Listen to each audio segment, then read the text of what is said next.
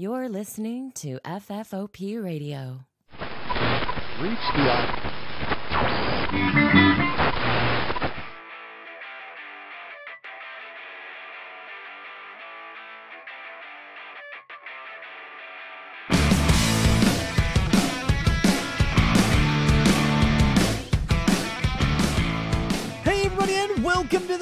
My name's Dave, and this is a fistful of podcasts from FFOPRadio.com. Back for another great week.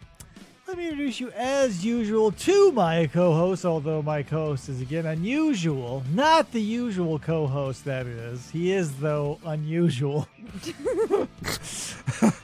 Uh, you know, you know him, you love him, you've heard him on this program before, possibly, possibly.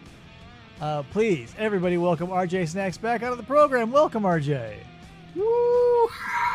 Bring him back on more often. Whoa, who said that? Ah, Oh, the shit. adoring fans. one. There was one adoring fan. He sounded a lot like you. he lives in your house. I just want to say, like, I know it's coming every time we do the whole countdown and everything, Mm-hmm. but then there's that pause, and then you just scream into the microphone, and it just scares me. It scares me every time. so you here br- breaking the fourth wall immediately, RJ. If we're gonna do that, I'm gonna start telling stories out of school. But first, let me introduce you also to my wife across the couch over on the soundboard, even though it's not hooked up anymore. Uh, it's Krista over there on the couch. I'm here on the couch. I'm gonna hook up that soundboard again, and I'm gonna start wanting to hear sounds. Mm. That's what the board is there for. now she just for. has to make them. It's either that or I get this really sick ass mixer. RJ, let me tell you about this mixer. So this mixer has like, I don't know, nine, 12 buttons on it that you can preload with shit. So I can have bam, the intro, bam, a fart noise, bam, all the sound drops I want, all uh, obviously limited to nine or 12. I forget how many buttons. And then we can eliminate Krista completely. We say, oh, you've made, been made redundant. These buttons are here. Uh, please give your papers to the lady at the door.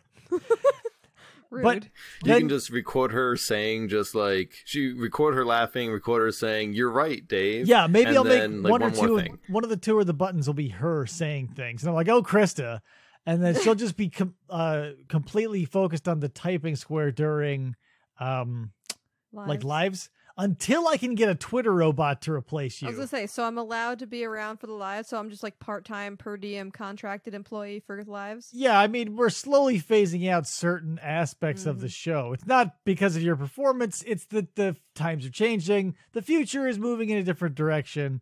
And you know, it uh, my hands are tied. We're looking to we're looking to cut costs. Anyway, RJ, welcome back on the show.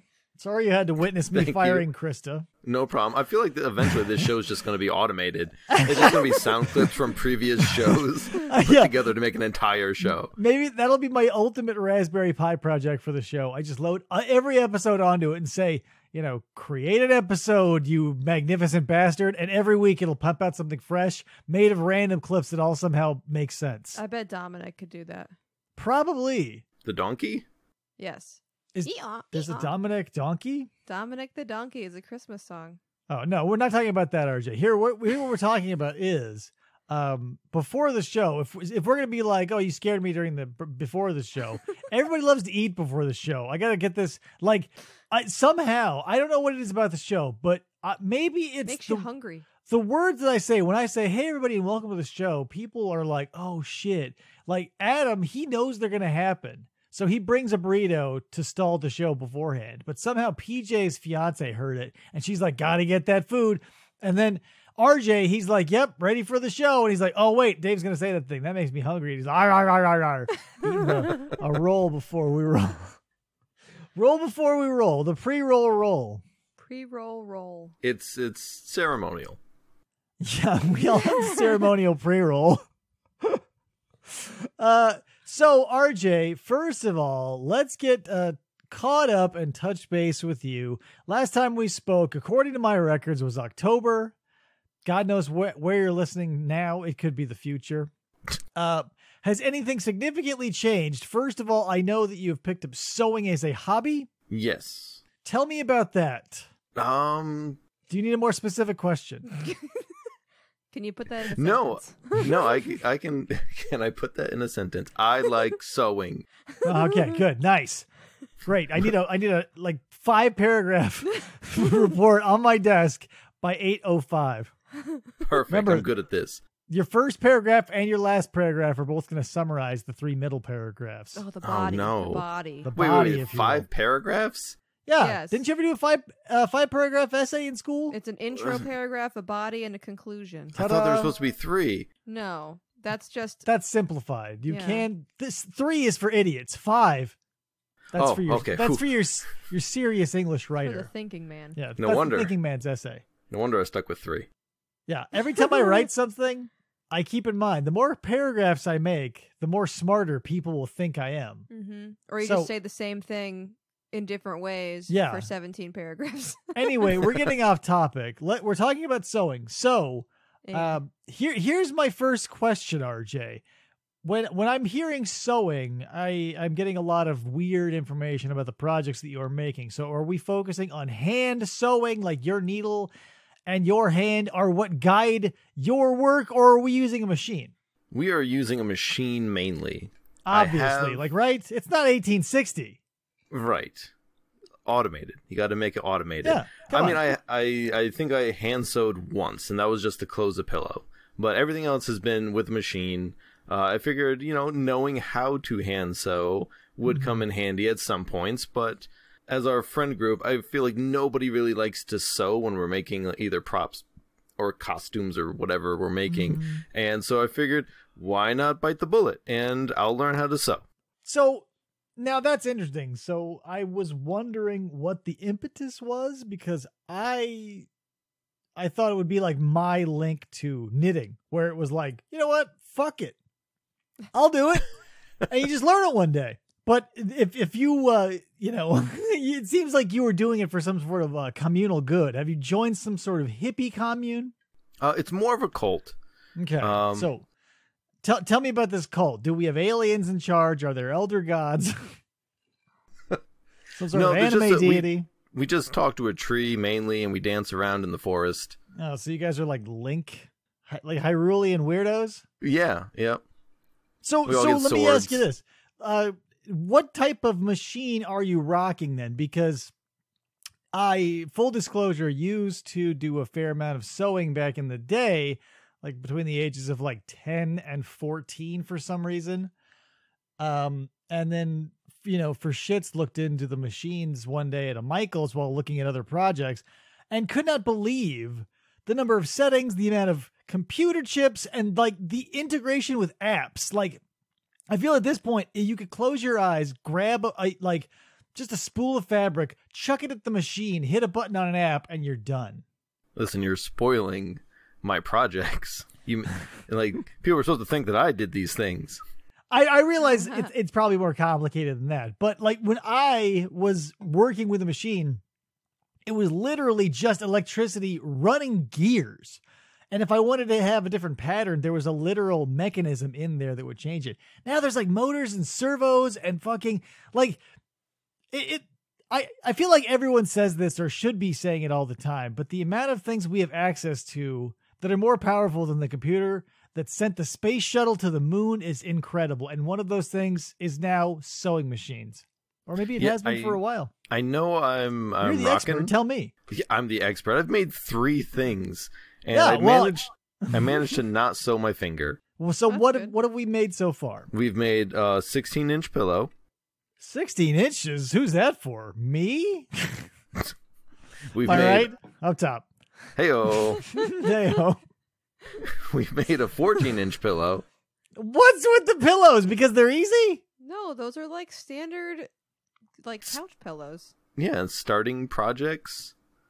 It's like What? I, So my question again is: so you make it because it's easy? It's a square. yeah, I'm I'm learning. Lame. You, you start simple. Square's a little too simple. RJ, I feel like I didn't even know how to thread the machine until I. Oy, I oy, oy.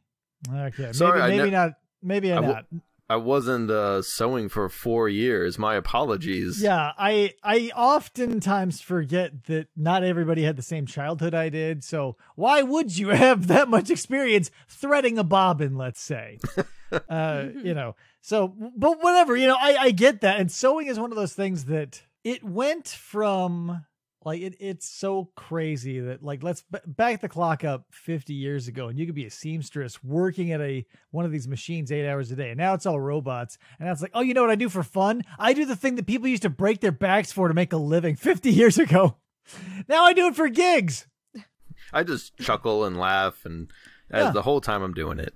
you think oh this is so fun and meanwhile like there's a lady in the 30s who doesn't even have a motor yet. She's working that goddamn thing with her foot. She's not making like pillows, RJ. She's not making dice bags. She's not whipping up a Dragon Ball Z sort of pantsuit. She's like, you know what? My kids need clothes, and I've got potato sacks. That's that's a good idea for our next next project. There. Think about it. I mean, recycling is a big thing right now. I remember when it hit in the 80s, and everyone was like, try recycling. And I did. And sometimes it works. Sometimes I'll just take some cardboard that I have. Yeah, you put it in a blender. yeah. So okay, not to, uh, this. This show is obviously so entirely off the rails. It's like whatever. A hundred percent. Well, But- what did you expect when you had me on? I I don't know. Uh, I think the coffee is hitting me. Uh huh. But what I'm going to tell you is no, I'm, whatever. I'm not even going to start that story. Here's what I'm going to tell you. Well, Uh, so sewing, uh, I I thought we would be we would be more involved. I thought you would have more projects under your belt by now. Because again, it's been 17 or 18 years since we last touched base. well, he also made a dice bag. yeah, I, I two alluded to it. That's I uh, with two sides. A reversible dice bag. Thank you very Oh much. God. So, hmm, reversible. well, we can get into the mechanics of it later. So, what? Whatever. I've got two important questions. One, One. that I never, one I never got to. Uh, the machine you use. What is it?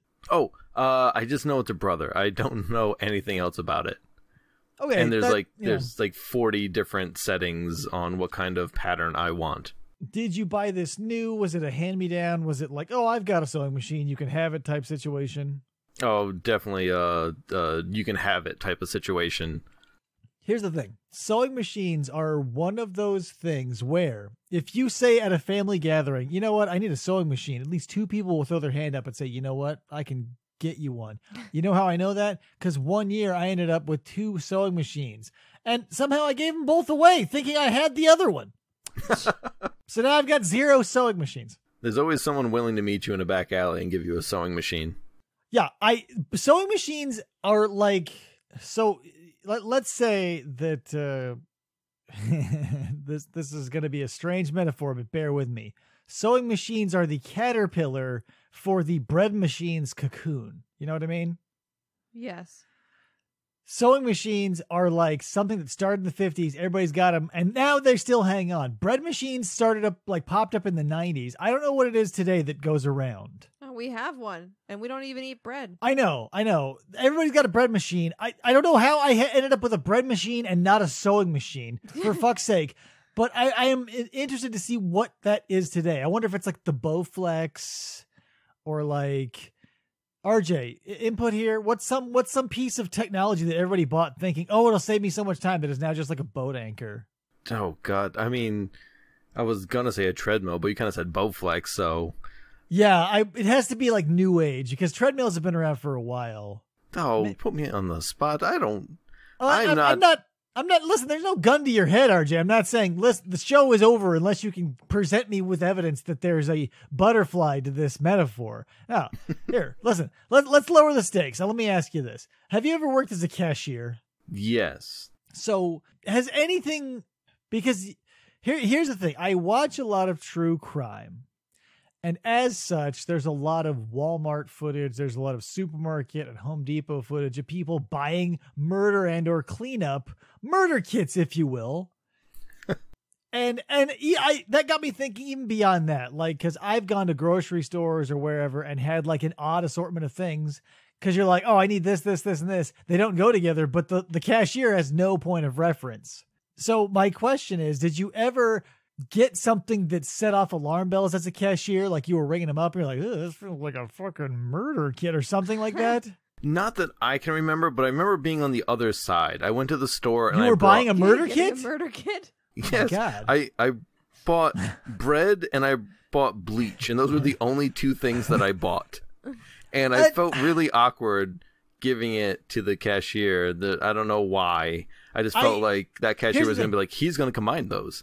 No, I the, the human mind will will tie together certain things. Like if you were buying bread and rat poison, the cashier's like, "What the fuck?" But bread and bleach, like bleach is not something you can sneak into bread. Bread isn't something that's going to take bleach well. That's not something like let's say you run in and it's like some tomatoes and like some Drano and like some some turkey pasters.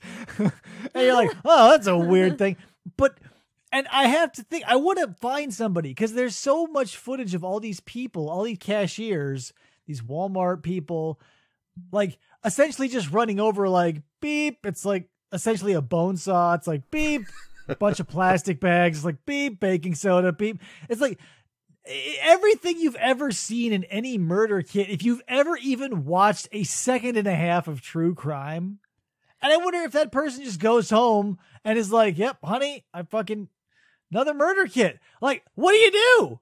I'm sure it happens all the time because it's always at Walmart, and I'm sure you can't call the cops on everybody. The person like literally has a bloody T-shirt on as he's buying all this stuff. That's stuff. the thing. All of the videos I watch where it's like, oh, you know, and here was the clincher. There was video of the murderer buying all the stuff he used to murder the person and clean up the person. And they did it like in some cases, they're buying the cleanup stuff after they murdered the person and they accidentally injured themselves while murdering the person. And they're buying band aids or whatever. So it's like, It's I- crazy. And you think the people, the murderers, you'd think they would think to, if you're going to buy a murder kit, do it at different stores. But no one, no one thinks ahead, and that's why I'm wondering. I want to get at one of these cashiers, and I know, obviously, I shouldn't say obviously, but in my head, nine times out of ten, if I ask a Walmart cashier, like, wasn't that a weird thing that you just did?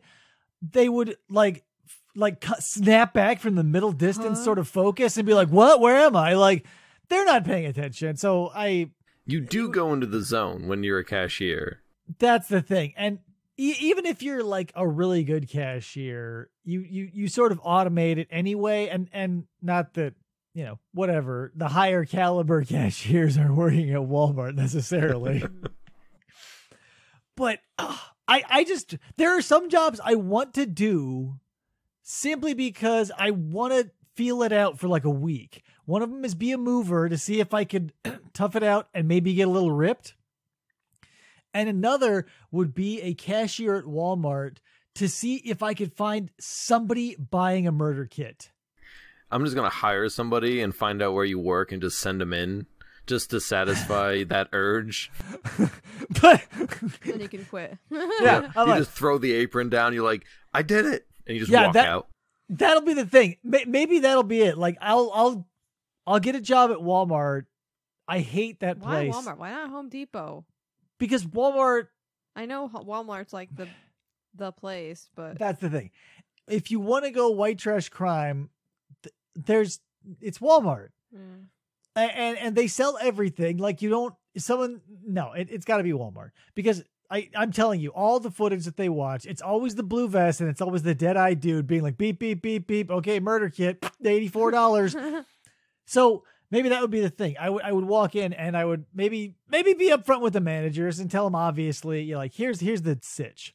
I'm here. I'm looking for murder kids. and when I see one, I'm taking my vest off. I'm whipping it over my head a few times, and I'm slamming it on the ground. I'm doing like, uh, you know, maybe a little NFL touchdown dance. That's when you know that dude needs to be called the cops on, and someone's gonna have to call cover my register because I quit. Done. It happened. Call the police, but more importantly, make sure someone covers that register. There are customers waiting. Yeah, if you're if you're MOD, I'll tell them if you're MOD and you see me fucking running up and down the line and playing a fake air guitar like to Johnny B. Goode in my head, call the cops because that's a murder and I quit.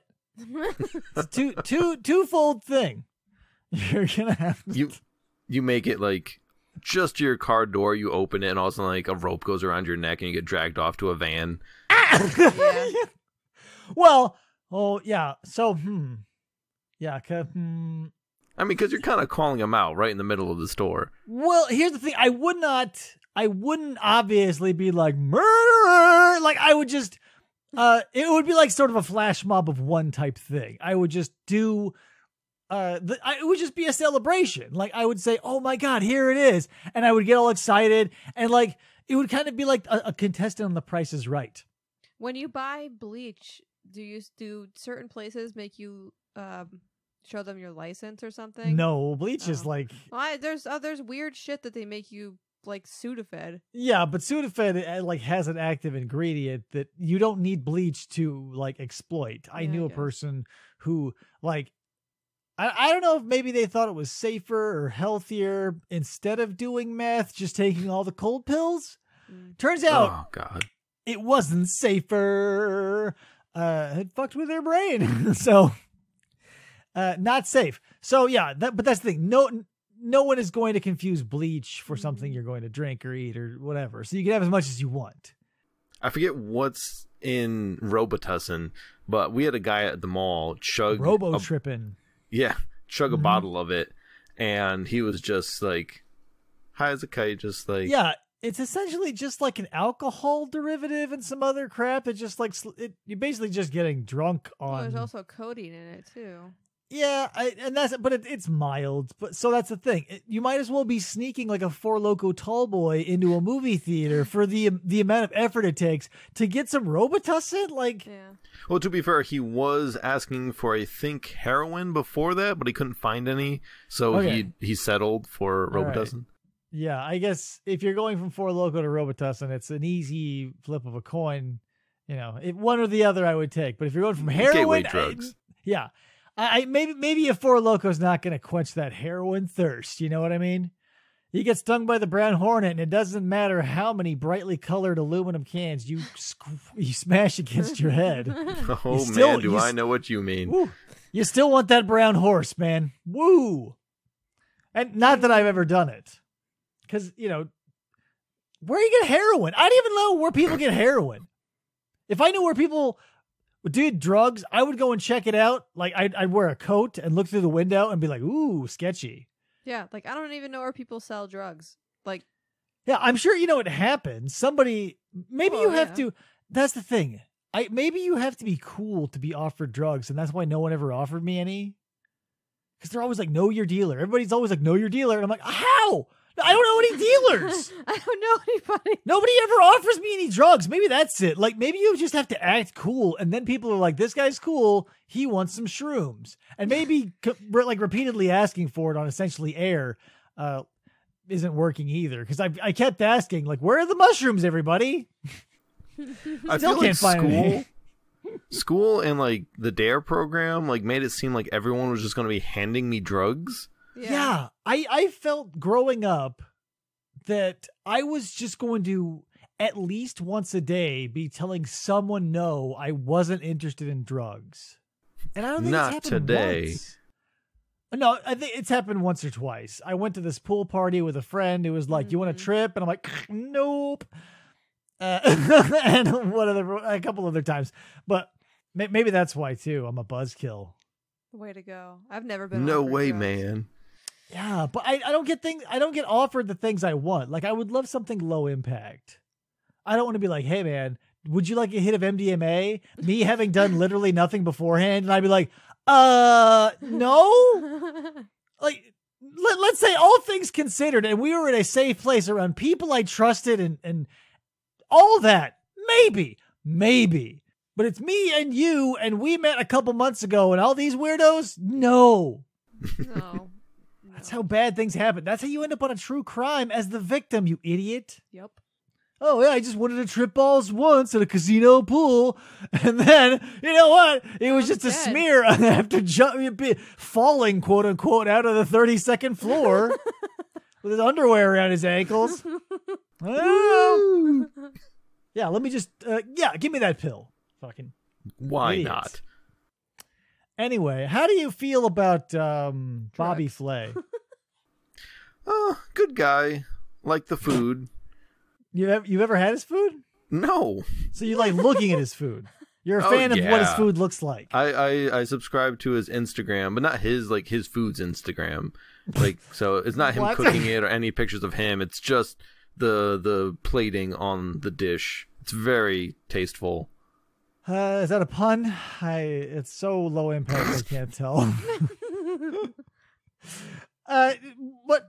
So whatever. Moral of the story is love or hate Bobby Flay because Krista doesn't like him. Mm-mm. I can kind of see it both ways. Like I get why people wouldn't like him because he's not much to look at and he seems like an asshole and his eyebrows do him zero favors, but he obviously has some sort of charisma and talent. Yeah, I'm not questioning his talent. He just seems like a big old dick. But and here's the thing. Now is the time. If you hate Bobby Flay, there's never been a better time to be a Bobby Flay hater. Because out there on the internet somewhere, this exists. So some some time ago, the, a company called Hidden Valley, they make a, a product called Ranch. RJ, you familiar? I'm familiar with this. Yes. Hidden Valley makes a ranch dressing, and Bobby Flay seems like he would not touch ranch dressing with. I don't think he would let one of his servants touch ranch dressing with a 10 foot clown pole. But somehow they found a dump truck big enough to bring a bunch of money to the front of his house to, to make him do a commercial. And it obviously wasn't enough to make him enthusiastic. Uh, so th- I'm, I'm sure there's probably a full length one out there, but YouTube showed me a curated, like eight second long one. So this was obviously the choicest bits of this Bobby Flay Hidden Valley Ranch commercial, and it. So I'm I'm gonna give it to you verbatim because I've seen it so often. YouTube can't stop showing it to me because I think it knows I love comedy. so it's it's Bobby Flay and he's in this kitchen and he's like. Here's how you know if you like a food. You say something nice about it in regards to yourself. So he during the commercial he says, "Hey, you know everybody likes ranch. We're gonna make a ranch quesadilla." Da da da. There's some hot shots of him making the quesadilla, spreading some glamour shots of the ranch on there. It's Hidden Valley. Blah blah blah blah. You get the glamour shot of the quesadilla. He picks it up, and what he should have said was, "Mmm, that tastes good," and he says, "Mm-hmm." Ranch. I and and with with with those final words, mmm, ranch. The door slammed shut on whatever remained of his integrity. like it was all just escaping, and he's like, "Uh, ranch, cling." There was no more left, and the door slammed shut. And he, you can see it in his eyes. Is what I'm getting at. I want you to watch this commercial. Don't take my word for it. I want you to watch this commercial because at the end you see a little something die in his eyes, and he goes, "Fuck, I I hadn't even hit the skids yet." Like Bobby the, the light just comes out of his eyes. yeah, Bobby Flay took money from Hidden Valley Ranch and was like, you know, gourmet chef no more. I now make Hidden Valley Ranch quesadillas, like something you'd give a three year old, and he makes food for people who wipe their ass on gold leaf. Mhm. Hidden Valley Ranch. Like, this is not Shaq, right? This is not a man who lost all of his money, who has lost relevance. He's not doing general commercials. He's not doing like hot wing commercials. Like, this is Bobby fucking Flay. Who, no one around him, like, he's got so many yes men that they're like, uh, Hidden Valley wants to give me $14 billion to eat a quesadilla. I don't want to, but should I? Because it's a lot of money. And everyone's like, yes, Bobby Flay. Do it, You Bobby should do Flay. it. You Huh? should do it, Bobby Flay. And he goes, okay. Does And everybody then say his whole name to him? they say, yes, Bobby. They make him. Hmm. Bobby Flay, your Lord o- Eyebrow Overlord. He just makes it short to Bobby Flay.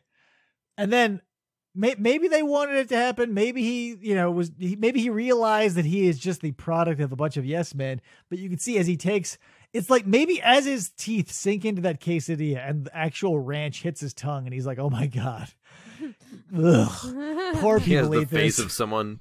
He has the face of someone who just like bit into a lemon. Yeah, it's like imagine imagine you sign up your name to a product, never seeing it, tasting it, touching it, or feeling it, and then having it ooze into your mouth for the first time, realizing it's disgusting, and having all of that captured on camera. It's like biting into a dog turd and then realizing your reputation's at stake, and now you got to go with it. You're like, and you go, fuck, this is going to be the hardest 30 seconds of my life. It's like And Krusty the Clown taking Yes! a bite out of the Krusty Burger and then spitting it out. It's like, oh, Yeah. I think I swallowed some of the juice. Yeah, but it's exactly like that. And it's Bobby Flay, and you can see him die a little inside. And that's the story of Bobby Flay and Hidden Valley Ranch. Do you have any Iron stories, Chef. RJ? Of Bobby Oh, yeah. Flay? Yeah, no, not just in general. I I just had a few notes that I wrote down on uh, this pad that I could review later, but I I'll save it because I've talked a lot, and I feel like maybe you've got a story to tell. Share with the children the story of your life. Well, it all started with a Well- Nintendo NES. If you so okay, so here's the thing, RJ. So was your childhood also programmed in Japan in the 80s? Mine was made here in America, but apparently everyone I grew up with, their childhood was shipped over from Japan in a little plastic cartridge. Yes. That's so I was- weird. I, had was a part bike. of the Tetris. You had a bike. Uh, I I, I mean. I had a bike. I would prefer to play uh, video games than go out oh on the no bike. shit. Yeah, here's the thing. I think the problem is I was poor. Either that or my parents lied to me just didn't want to buy me anything. I'm not sure. I cannot confirm. However, we never had video games growing up. So we had to make do with like toys and our imagination and like going to the park and shit. And I realized obviously when I'm like, oh, these video games that everyone else likes are kind of meh. eh, I don't have the rose tinted glasses everybody else does. See, like my street, it was like all the kids that lived on my street were pretty much bullies, and I was the the Really? quiet like yeah. I guess they had to Um, happen somewhere, right? Well, yeah, and they they all turned out to be like the drug addict kids uh, of like the of the school. But. Yeah. um and I was always the you got to follow the rules guy. So they would always go off on these adventures and I would just be like I I think I'm going to stay behind. They and I never was like offer you drugs. yeah, and they never offered me drugs. I was a little offended. Yeah, it was like Stand By Me, and they're like, we're going to go find a dead body. And RJ's like, I'm going to go play Super Mario too. I made the right decision. Probably. Yes. I mean, there are a lot of diseases you can get from a dead body. Let's Not that real. I and, would know. and sharing needles. Yeah, and sharing needles with your heroin addicted friends. I don't know, man. If you're still in the same age demographic where NES and heroin overlap, like you got a rough childhood. Holy mm. shit.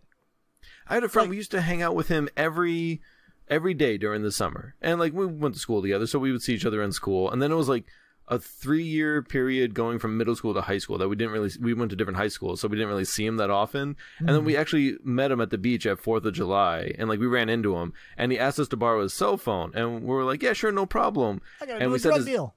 and we said his his name, and he just looks at us and he's like, "Do I know you?" And we're just like, What? we hung out for like four years straight. Like, uh, no, forget it. And I mean, we still let him use the cell phone, but he did not even remember who we were. That's so Wow. weird. Yeah, I mean, that's drugs can mess you up. Oh, so okay, I get it. Yeah, okay. So I have a similar story. However, I was remembered Ooh, in fifth and sixth grade. My best friend at the time, he was sort of a weird kid. I was sort of a weird kid. He was like this clean cut Mormon kid, and I was, you know, whatever, whatever the fuck you'd call not me. from Japan. Nah. not from Japan. And uh, you know, when we went to junior high, he went somewhere else, I went somewhere else, and we just completely lost touch. I don't know how or why, but it was one of those things where like out of sight, out of mind, it is gone. So junior high comes and goes, seventh, eighth, ninth. Don't give him a second thought for whatever reason. He was my fucking best friend in fifth and sixth grade. We both had the same bowl cut, for Christ's sake. so We use the same bowl. yeah, we shared the same. It's a Captain Crunch Bowl. Cut to high school, and I, he just walks by me.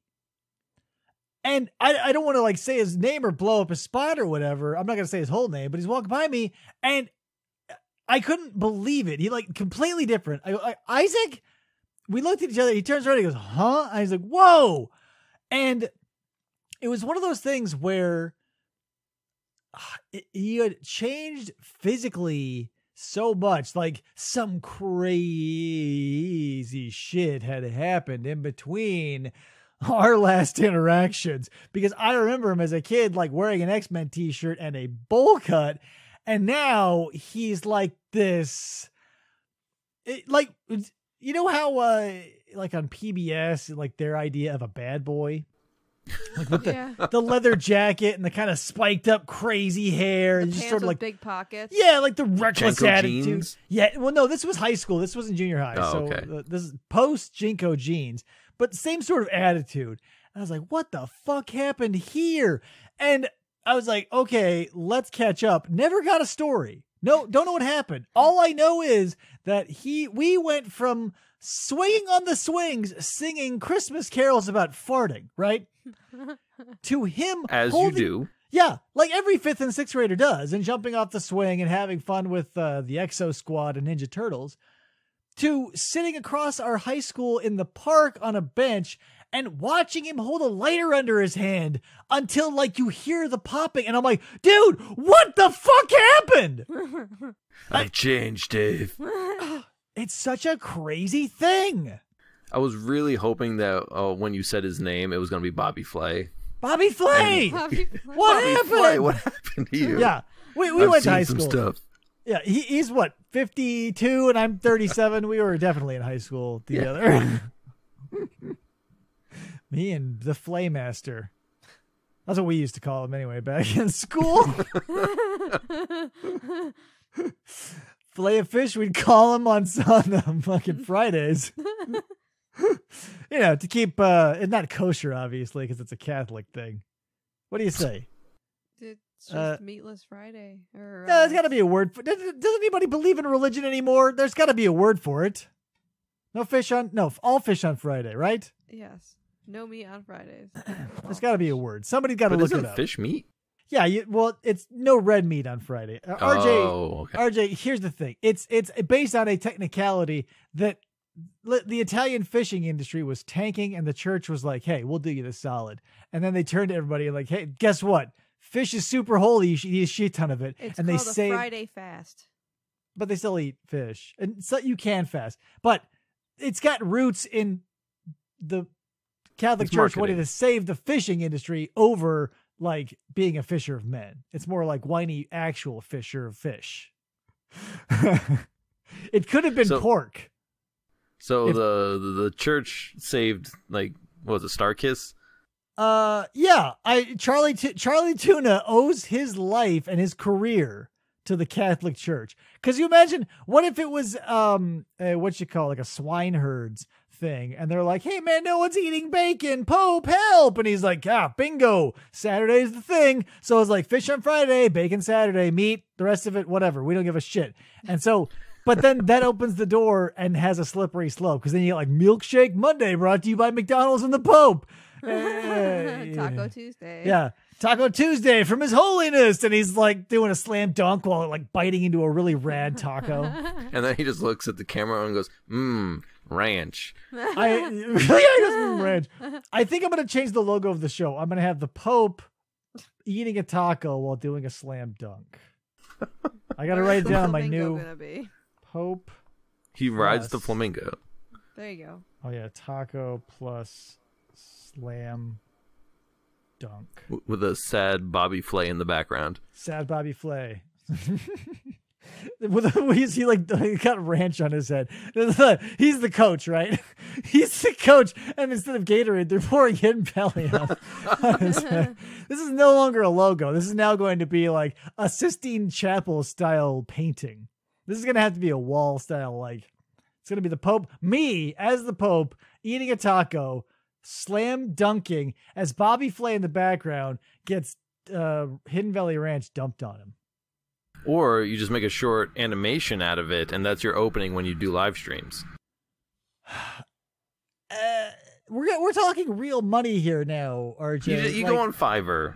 right, but here's here's the thing they don't tell you about Fiverr. Fiverr is where they start. They can charge you as much as sixty five or one hundred five or two hundred five or and that's Fiverr is just where it starts. Fiverr is just uh minimum level entry level garbage. And P.S. If someone is only charging five dollars, they are garbage, and you shouldn't buy from them.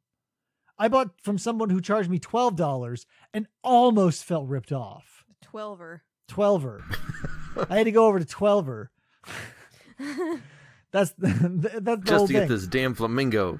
Yeah, I went to Fiverr and there was an external link to Twelver, and then I had to download that PDF. There's so many formats, RJ. You You can never keep up. No, like everyone's like, "Oh, why'd you send this to me in a TIFF?" And I'm like, "I don't know. That's just what I the don't know what I program just told me." did. Yeah. People love these format conversations. However, so let me tell you about this uh, thing that I just got because maybe uh, you or someone you love will find a use for it. Uh, Hit me.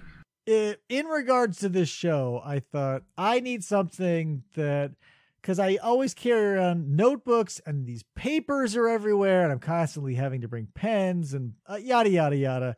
And you know, I'm cycling. And here's the thing: not only like because let's be real, carrying around a single notebook to write notes in is not a big deal. But if you're a sentimental idiot or if you're a pack rat or a hoarder, you keep your shit. So I'm literally right now staring at a stack of notebooks, 25 high. Half of Oh. them are full of show notes because I've been doing the show for so long. Yep. I can't bring myself to get rid of them. So there they sit. So I thought, ah, I'll buy a tablet of some kind that only takes notes. Like you can save whatever. So you can put an SD card in it, you can write a bunch of notes in it and save a million pages, and it'll just be one thing forever. That doesn't exist. However, I found a thing that's like an etch a sketch for adults. Maybe you've heard of something similar like a bamboo pad or something, a boogie board, boogie board. Oh, okay. I was gonna say bamboo. Like, isn't that the drawing tablet? Yeah, sorry. Yeah, the bamboo pad is the drawing pa- ta- uh, tablet. The, the the boogie board is essentially like an adult etch a sketch, and I'm holding one in my hand. You can't see it, obviously. I bought this this little seven inch one to start I'm Give- give- imagining. to give it a shot, and I was like, eh, I don't know. This is weird. It's got no save function. All you can do is write, and it's it's uh, again an etch a sketch.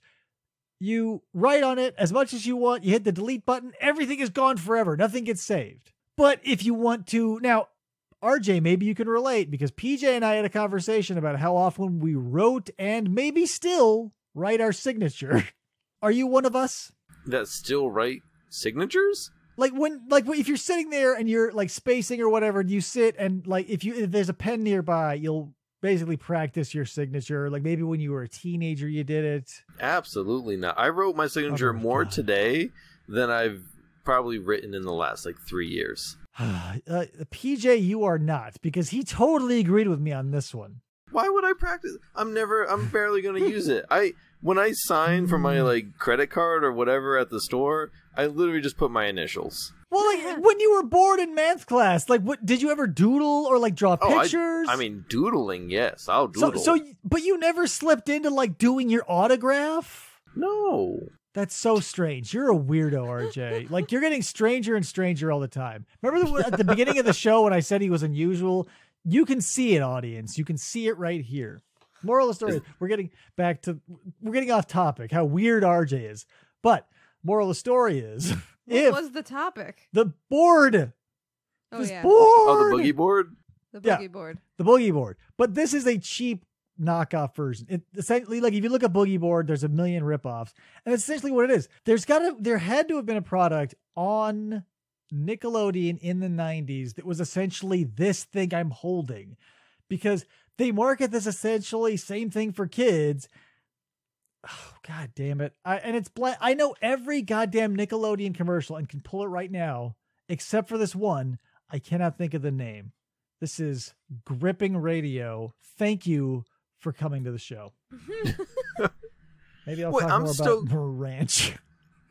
I'm still wondering what this would be used for.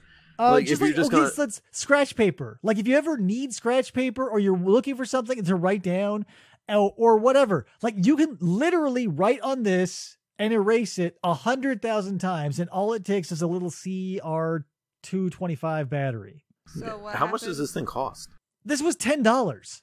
Oh, okay. It's a ten dollar thing that comes with a stylus. You like I made all the notes for this show on this thing. When I'm done with it, I'll hit the delete button and then we'll move on to the next show. Okay. What happens if you write something down and accidentally hit the delete button and when you put it in your bag? So it, there's a Gone. lock button. They did think of that. There's a lock good. button. So like uh when I was writing this uh show note section, I did lock it to be like, ah. So but the thing is you also have to be careful because if it is just like an etch a sketch. So if you like your nails, fingernails touch it, it'll, it'll leave marks. Yeah. So it is like anything you touch it with is like having a million ballpoint pens. So it does teach you to be careful. Uh, You can just but- hang it on your fridge and yeah, just write, hang it in hey, your fridge. You can doodle like if you want to draw and you don't want to waste it. Like, let's say you want to practice drawing and you don't want to go out and buy a big stack of paper that you know is going to be just a bunch of miss attempts. You can use this thing a billion times. But you can't save your work because Can't, then no, you need but to use but it it's for things that you don't need to save. That's Yeah. the thing. It's for lists. It's for doodles. It's for like running around taking notes for something. Like let's say, oh, I'm out on the town. I want to remember something. Or you keep by the bed. Or you say, oh, I want to draw a picture of some boobs. You go doodly doo. But someone comes in the room and you're gonna be embarrassed. Bam, delete, gone. let's say you're sitting there like, oh, I'm my, you know, your back is to a wall, your face is the door. You want to draw some rude images, some some wieners, and some, you know, other other pictures, you know, depicting female and or male anatomy. Someone comes in, your mom comes in. Hey, what's on that tablet? Bam, bam, nothing. So it's it's the upgrade from the briefcase that explodes after you read what's inside. Yeah, it's yeah, it's kind of like a self destruct. Well, no, not necessarily self destructing because it's not. It will not destroy itself. If you if someone rips it from your hands before you hit that delete button, all bets are off.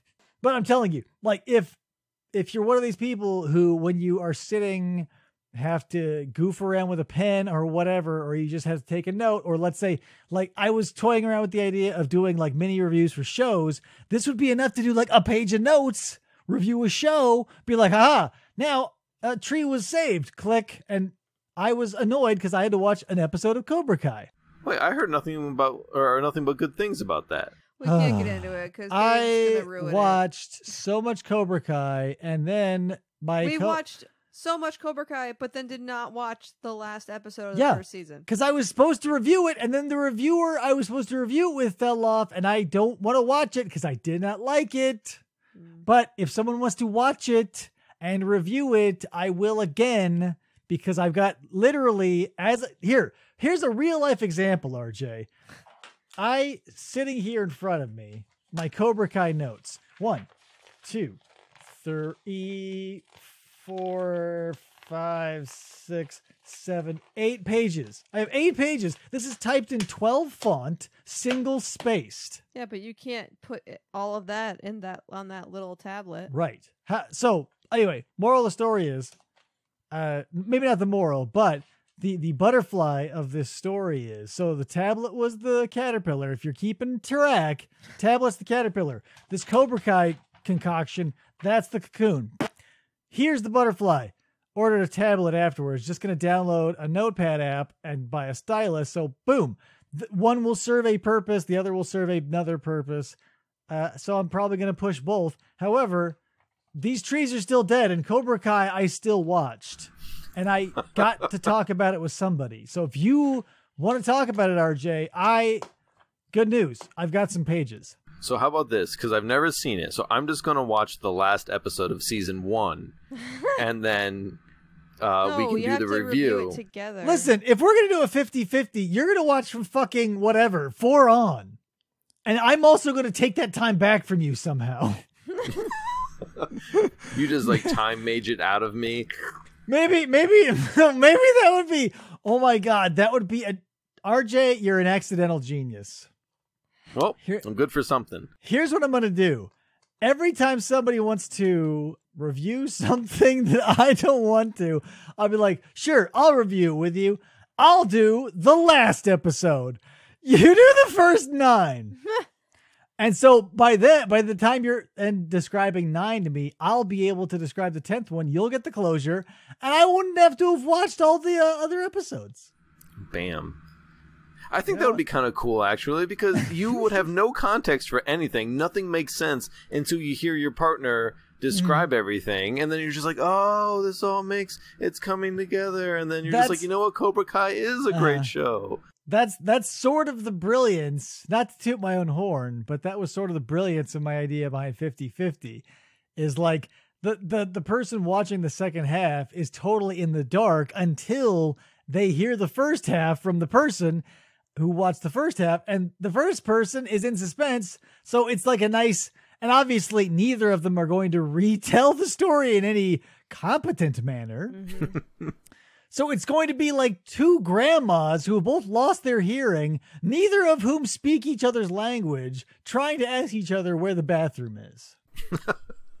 and only more so lopsided if I'm doing a 90 10 situation. I like it. I might do that. Maybe we'll do an episode. Maybe I'll make that a Patreon perk. If you give me $20, I'll make you do all the work. And then I will watch the last episode For- or whatever you want. For for twenty dollars, I'll describe the last. Oh my god, what a kick in the dick! Like, imagine if you really enjoyed the series, and then to have me explain to you the last episode, essentially spoiling it. Woof! And it cost you twenty dollars. You'd have to be a hardcore idiot. I mean, crazier things have happened on the internet.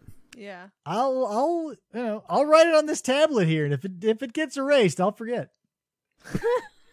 but I'll try to remember the Pope and the taco.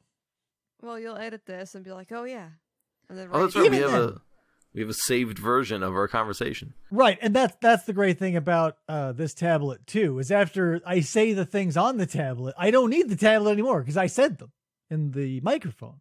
hmm hmm If I need them again, I can write them again. They're very easily transferable. I was wondering what you were talking into. Yeah, language incredibly versatile. You can write it, you can say it. I guess that's it. it. Oh yeah, you can think it. Think it. Yeah. Three th- three whole things. Have you done any of them today? Checking it out. Not not since I started this podcast. It's in a book. It's reading Rainbow. Um, now RJ, I don't think we have enough time to go through the the new the non-canonical. I'm going to call it FFOP five two, the Oh PJ one. I was like, uh, this entire time, it's been 53 I- minutes, and I'm like, oh my god, I'm not if, if if I'm going to call this the FFOP five two, I'm going to do a better job. I half-assed these. So this is non-canonical. This is like uh that every American Dad episode where it's a dream or wherever the one this is like this is one we're going to have to hit the reset button on and pretend it never happened. so uh, I'm going to actually, do I'm just gonna hit the delete button, and this whole Yeah. thing's just gonna go away. So imagine this is the universe of Star Wars that was in the books that Disney completely cut out.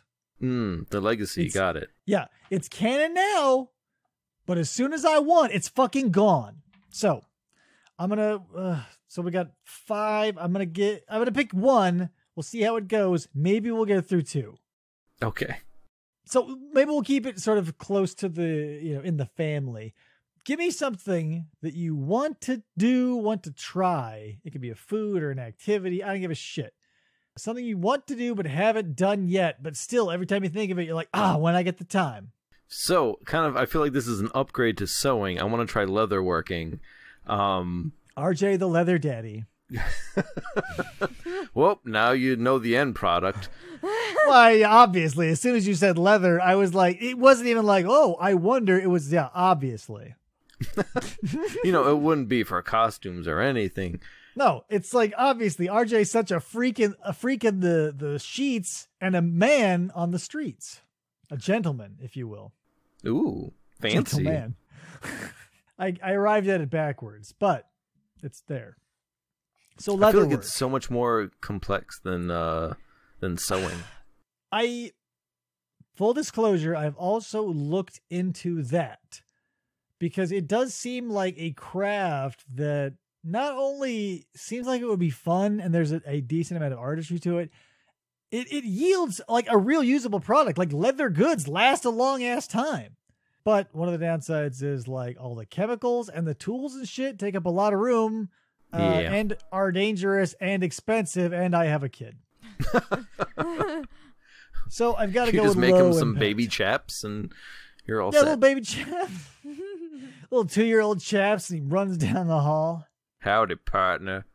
Yep, we got him a one of those little Shetland ponies. We say that he um, say he grew up. We found him out on the range, and he came with the uh, his own horse and everything. He just Where the deer and the antelope play? yeah, Yeah. he rode in into town one day, and he said, "Howdy, y'all," and he lives with us ever since. Mini Pecos Bill is his name. So leatherwork. What I I guess the kind of a layup. I guess is there anything deeper to it beyond like just more accoutrement for the costuming? Nah, just costuming. I feel like it would, like you said, it would just be a, a cool addition or something that would last a little bit longer than probably anything I would make uh, from sewing. Uh, yeah, and, and that's part of it too. You know, obviously everybody knows I hide it well, but there's a lot of things I like that are very nerdy. So, that being said, full disclosure, I don't want anybody to gasp too hard when you hear this. Back when I used to go to anime conventions and and wait, RJ, there's more. And dress up as Wolfwood from Trigun with a full size, maybe seven eighths scale cross. Uh, you know, I was into that shit. I appreciated the artistry of the costumiers and all those other uh seamstresses and blah blah blah blah blah. The thing is, like a Hanes t-shirt is harder wearing than this thing that you're gonna wear once that you're God, you know, you're praying to God every second of your, you know, you're wearing it, it doesn't fall apart because it's handmade by someone you never met and they sent it to you in the mail and you got it three seconds before the convention started. so Half the seams are missing, and yeah, I, it's always a crapshoot. So I always stuck to the ones that I could make myself. Hence, Wolfwood, obviously, easy as shit.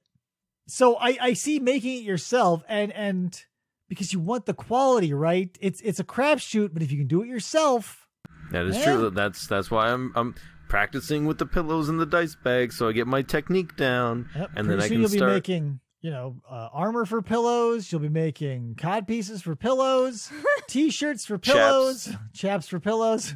Just every pillow in your house will be chapped and t-shirted and skirted. Little maid I outfits. can fight a battle. Now, let me ask you this. I feel it's only natural that it is going to come up.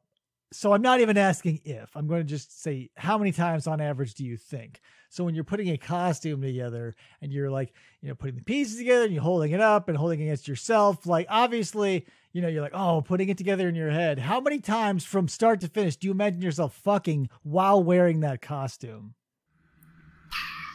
Like a Seven and dozen? half. More seven and a half? That seems like a little, like very little. Because let's be real, these costumes are going to take a long time, Yeah, right? I mean, you're going to be checking them out. You're going to be holding them up, like if there's props. You're going to be painting them. You're going to be like admiring them. you strike some like- poses. Yeah, I mean it's got to happen. The, the complexity of the outfit must make it go up incredibly inversely. Uh, That or the skimpiness. It really depends on the costume. Uh, yeah, I imagine. So, so I, I guess I am asking a very strange question because the scale is not uh, a linear one; it is a circular one, and it's all gray. So, I guess what I'm saying is, on average, when you're making or putting together a costume, pick whatever. It doesn't even have to be a sexy one. you, you know, you're gonna think about it. All these Trigun characters. all the Trigun characters. Every I feel like that, but that I'm not saying you specifically, RJ. I'm saying humans must do this because every brosif who walks into every Spirit Halloween store, Halloween Express, and looks at all the costumes is imagining getting wasted and plowing someone in that costume and like the fun it'll be and like because let's be real. No matter who you are, no matter how stuffy you are, wearing a costume is fun. It is. And when you we all allow ourselves to live outside of our uh, norms a little bit, you get into that costume mode, you get a little weird, you say, What would it like to get busy in this thing? And you immediately see the flaws in the costume.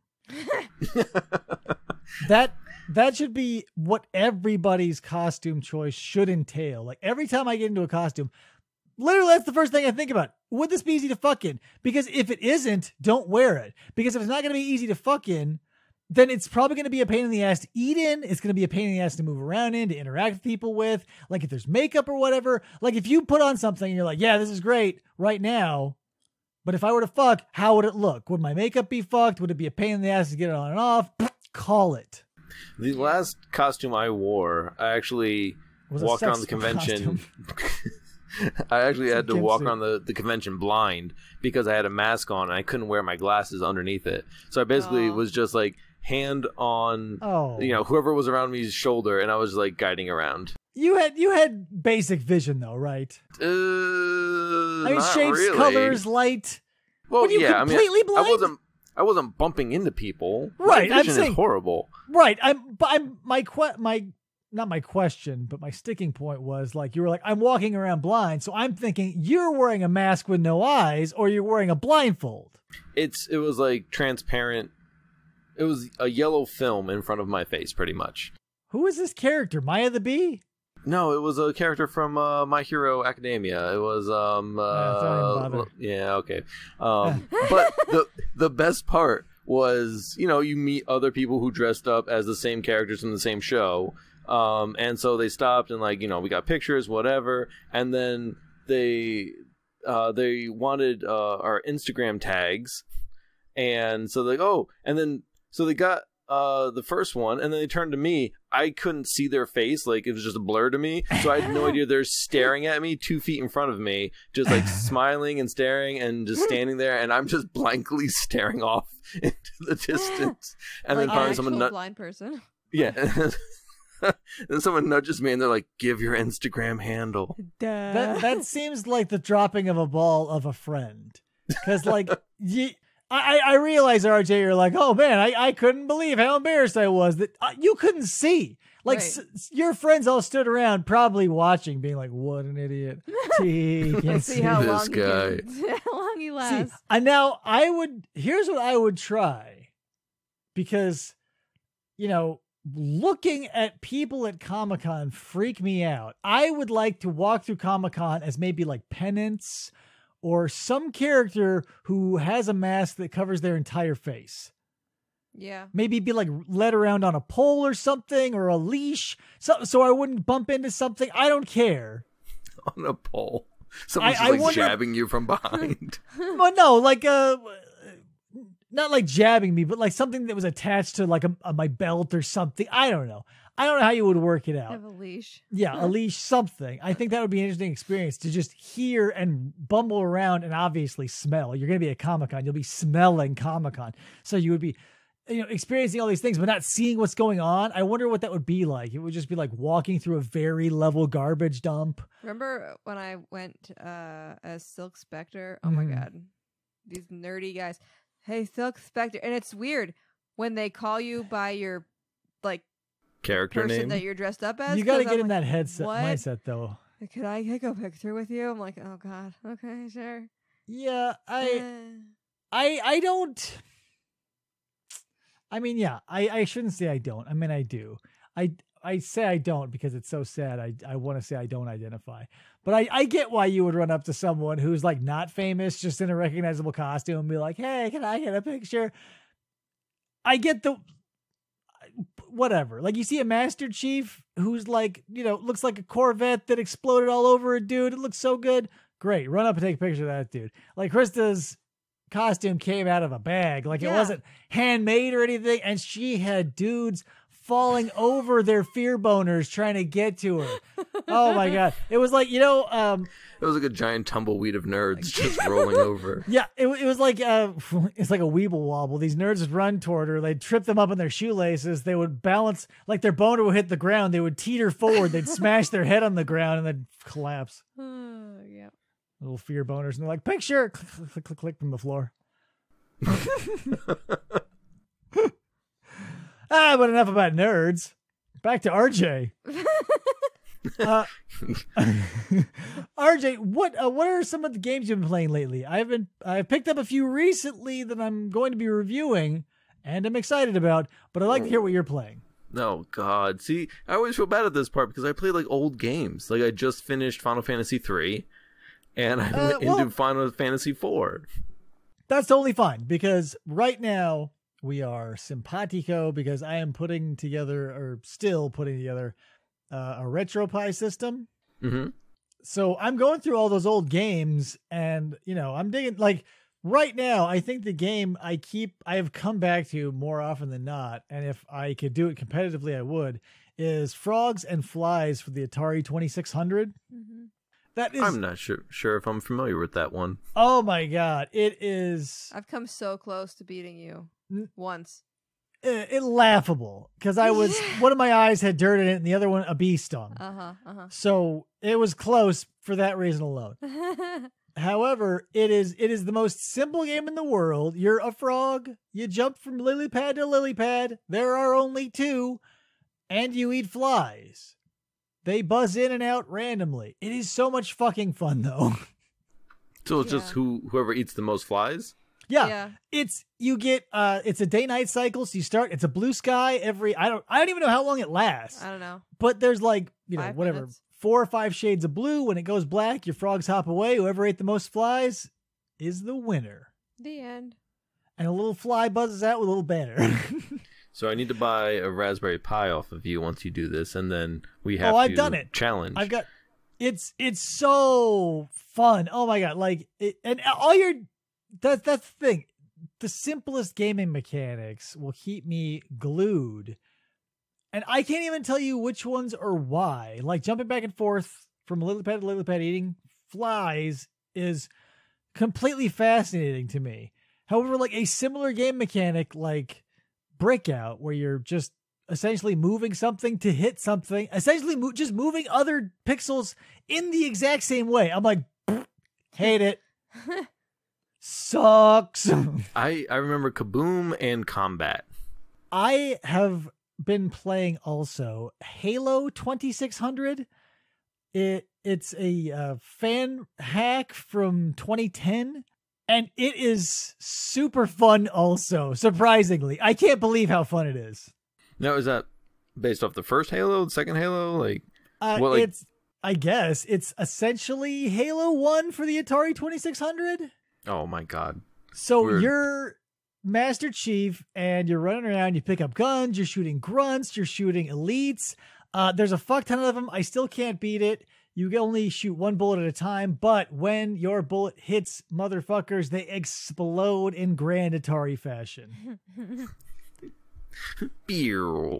I love it. It's maybe the best Halo game I've ever played. Oh, is that the one where you go from like square to square? Yeah, yeah. trees and shit. Yeah, and it, it is a little. The only thing that moves on Master Chief are his little legs, and they go diddly diddly diddly. yeah, it's great. Uh, so yeah, I I totally identify with the old games because I'm I'm revisiting all of them. They they honestly need to take that sound effect and put it into the new games.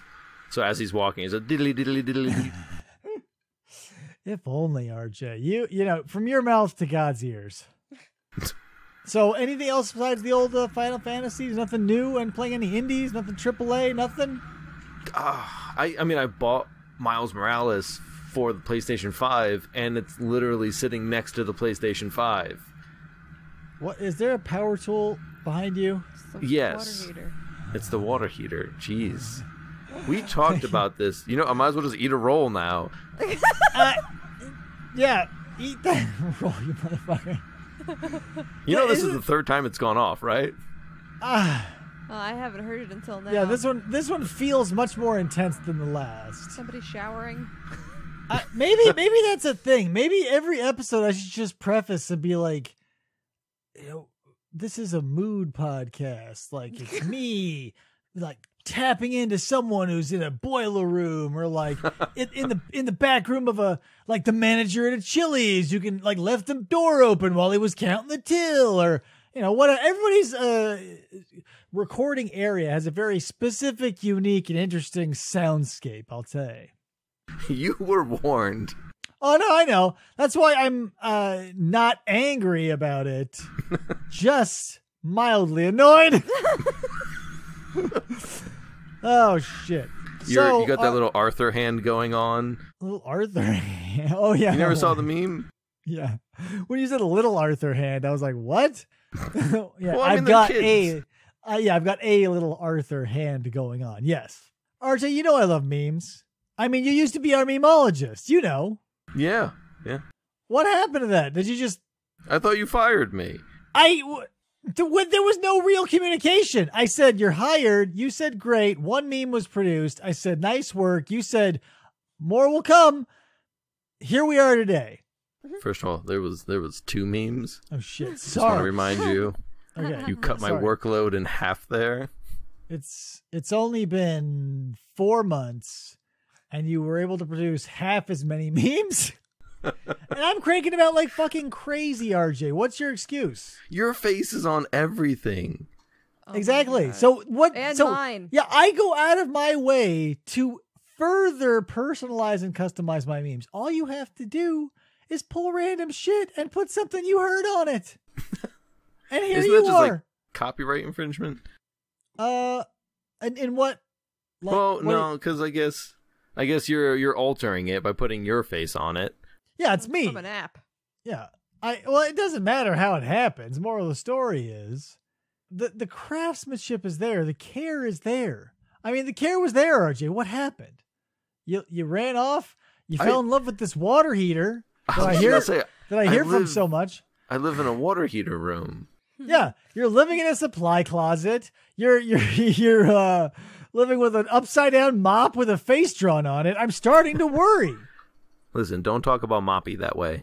He's making And- costumes for it. And also, not not to poke holes in this, but if you're going to live in a fantasy world, why refer to your fake wife as Moppy? Like further pointing out, like this is a little crazy. Wink, wink. Like, but I fuck a mop. Hmm. In costume. Also, let's be real. Like, if you're gonna fuck him up, there's nowhere to hide the fleshlight. They would see the duct tape. They would see, like, let's say you put it in a. uh Oh, here, obviously, you stick the mop inside of a punching bag. Mop stays out of the top. There's the head. You insert the fleshlight into the punching bag. Yep. RJ, I hope you're writing this down on that Uh, tablet that I um, recommended earlier. I got it on my etch a sketch. I'm I'm twisting those knobs. oh my god! Salacious. That's gonna be a sound drop next episode. Uh, all right, RJ. So why don't we start wrapping it up? Uh, let's do like I know. Obviously, most of my earlier talking was a staff recommendation, but do you have a staff recommendation for our listeners? Do you have anything new or anything old you want to spread? What's up? I am I've actually started posting on social media Ken. It's amazing. Boring. What? No, I'm just kidding. You you Uh, love all my my sewing creations. Uh, yeah. So, um, are so let me ask you this: Are, are we are we moving from a video gaming persona to a larp? Not maybe not larping, but a cosplay. Larping's a different thing. Cosplay persona type thing now. I feel like video games are still going to be the main focus, but it's going to cover all aspects of my life, whether it's video games or sewing or boiler rooms. It's going to be great. I'm wondering, RJ, because we've talked about marketing and you know social media and stuff, and I, I here's the thing: uh, there's no way I am going to stick to one thing because I, in my real life I can't stick to one thing, one hobby. Like over the course, like may, I tell a lie. This show, if you want to consider this a hobby, uh, longest running hobby I've ever had. During the life of this show, I've seen dozens of hobbies uh, sprout and die like weeds in a garden. So, you know, I, I don't know how to, where to focus on. Like, if I, if I might, and this show has obviously backed that up because I talk about everything that we go through. And maybe that's not a great strategy because uh, nobody wants to hear about a bunch of random crap that you're doing seemingly at random uh, that you never really follow through on. Maybe that's the show's problem. FFLP, never following through. I realize that those For- letters don't add up. Six years. Six, six. I don't know. Years. This was, it was Eleven? 2009. What year is it now? It is 21. 2037. So it was off by a couple. Yeah. Six, seven, eight. I, I think everything after 2010 is just sort of the same. And then from 2020 on will be a different thing. I think 20 year chunks is good. Let's just stop calling them decades. It's like, oh, this a decade. 20 years is good. Because you got to have a little buffer on each side to shake off the previous decade's crap and to sort of slide into the new decade's shoes. The double decade. Yeah, a do decade. You know, you Dungeons and Dragons nerds, we, you know what we're talking about. ro- ro- roll that do decade, uh, Hedron, uh, RJ. so, what was your uh, recommendation? Myself. I Oh, actually, for once, am am posting stuff. Right. So, give us uh, uh, social media such as, I assume, Facebook? No, because No. everybody's old and they always tell me to get off that. But maybe Instagram and Twitter. Instagram, Twitter, Twitch. Instagram. Insta- Instagram. Instagram. Instagram. Tweetar. the tweet machine. I'll be tweeting them, folks. I should really start making TikTok videos, but I haven't yet. I've know, made one. I here's the thing when when every piece of marketing material I am shown about TikTok is a 12 year old shaking her ass to a explosion of smiley faces and hearts. Do you think that's going to appeal to me? YouTube, Google, whoever is making this ad, and you read all of my information because you have it. You say this is a, a single, not single, married white male in his late 30s. Uh, and they're running through the TikTok ads to show me. They're like, yep, 12 year old shaking her ass. Let's make this guy feel sick to his stomach and gross, even though he can't stop it because we're not going to put a skip button. So he's going to have to flip his phone over. So in case someone walks in, they don't think he's a perv.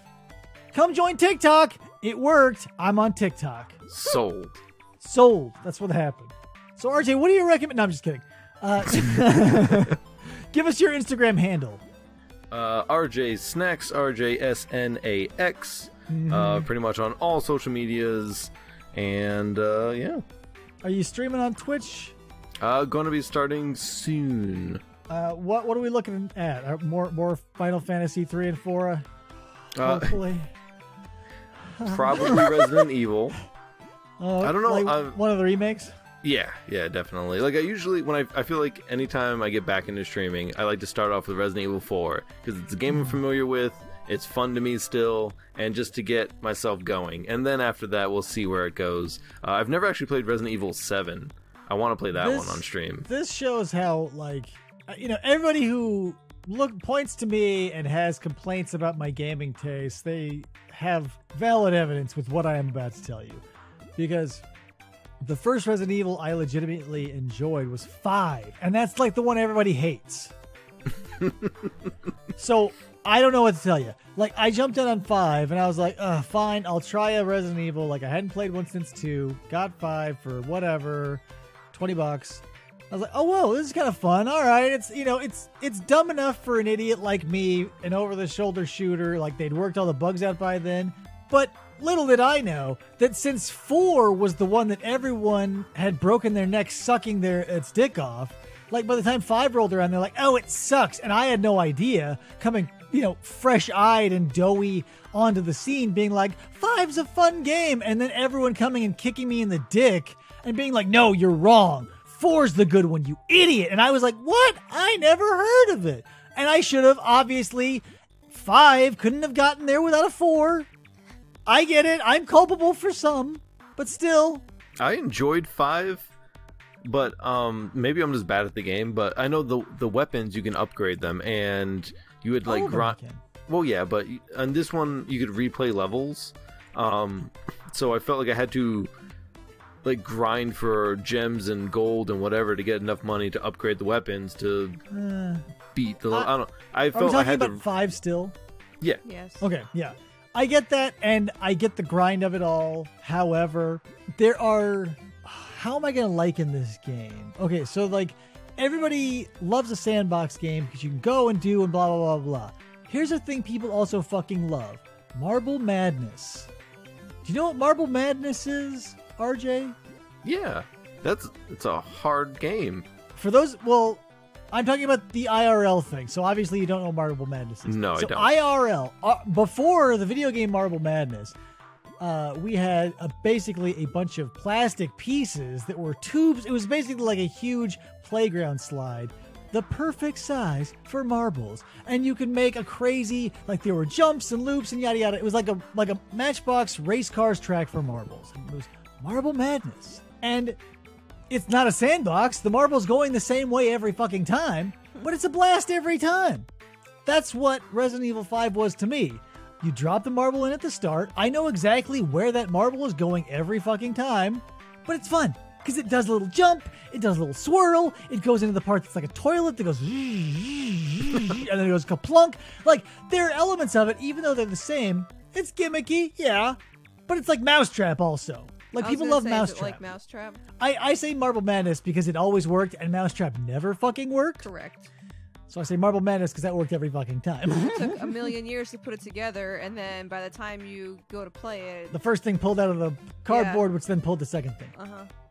This always worked. So that's All why the I say. gears mess up. Yeah. There are some games like that. And that's what I feel uh, Resident Evil 5 is. It's not Like even at the hardest difficulty, it's not hard. You're letting gravity do the work. You're the marble. Like even the shittiest, I have pulled the shittiest player I've ever played with through that game because it is a marble madness type game. As long as you're there, gravity will pull your ass to the bottom. That is no way to talk about Krista. I, listen, I said not specifically the worst players in the world, RJ. Look at you did. Now you offended my wife. How dare you? Go cry. In my culture, we murder people for that. White trash culture. uh, so, um, what else have we got? Anything new? Anything you want to share before we're out of here? I don't know when we're going to talk to you next because it's been 17, 18 years since the last time. Probably like 20 years later. All right, but so tw- by then I'll have an awesome, I'll have an awesome uh, Marble Madness setup going. Yeah, there's nothing better. I'm telling you. Like, whatever. Matchbox cars. Yeah. Marble Madness. Here's the thing. That's where it's at. the the perfect thing. Let me talk about Marble Madness just a little bit longer, uh, RJ. Here's the thing about Marble Madness, because again, I will liken it to the Hot Wheels or the Matchbox cars like tracks. Here's the thing about Marble Madness: your your car goes flying. The, the car needs to be on its wheels. If it can fall over, it can stumble, it can crash. You can't fuck up with a marble. It's round. It'll never flip over. It always is flipping over. So it'll go zany. You can go all over the place and go up walls. Marbles are fun. Cars, eh. But Marble Madness, and that was the, that was the crazy thing about it too. Is sometimes you'd, as a kid, you'd be like, I I know that this piece is empty at the bottom, so you pull it out. Especially like when my brother made something, he would always, always fucking. So here's a short story. I know I said the show was ending. short story. There was a little piece that was uh, like a little ladder, uh, sh- uh, ladder, a slide. It goes whoop, and had two pipe chunks. One was blocked so the marbles would stop and roll out the opening of the thing you attached to, and one was hollow. And that was always at the end of everything because it had a little, le- uh, you know, the slide made it fun at the end. So I would always swap it to the other side. So instead of going down the slide, it would just fall straight down. Ruined it every time for my brother. They had a. They, did you know they have a Marble Madness for Game Boy Color? Yeah, Marble Madness came out on the NES, so I'm sure like Oh. nothing came out on the NES that hasn't been, you know, risen from its grave 400 or 500 times. These kits are kind of cool looking. Who? The Marble Run sets on Amazon.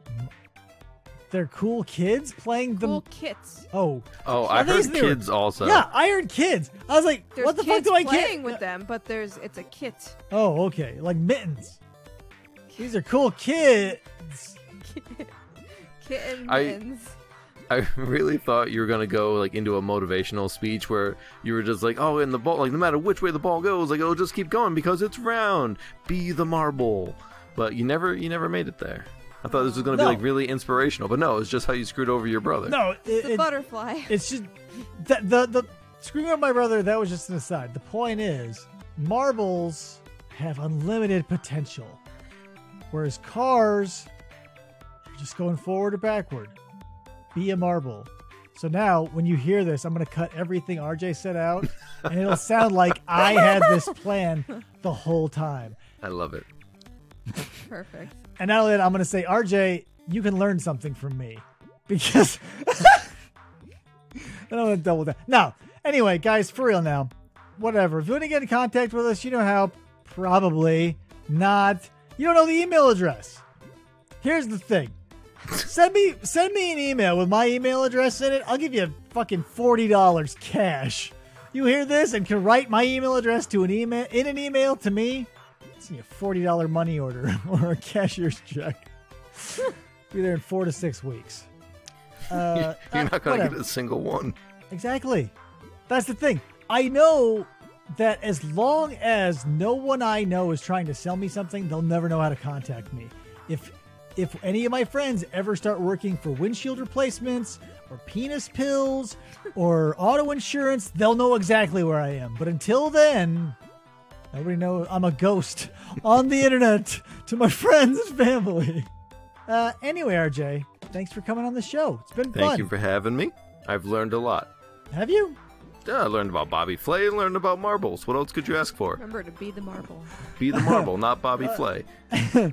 Duh. Sounded like you said duh. Anyway, guys, uh, we will catch you next time. Nope, wait, let me back it up. We haven't said our. I gotta fucking. Here's what I'm gonna do. On this pad, when this show's over, I'm gonna write an outro that I'm gonna also then write on another thing that can't be deleted pad. later, and I'm gonna tape it to the wall. And at the end of every show, I'll read it.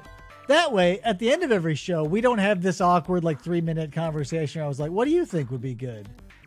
RJ, like, how would you end a show? I, I don't know. And then I just Uh, disconnect. Yeah, and then just like, that, that, no, it, it was so old you would hear the dial tone. Eh, eh, eh, eh, eh, eh. Oh. anyway, guys, we'll see you next week. Okay, bye. Bye.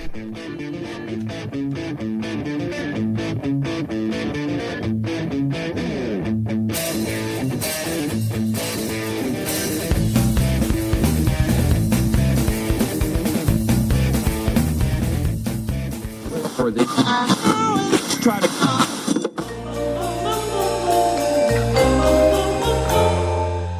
Fistful of Podcasts Radio.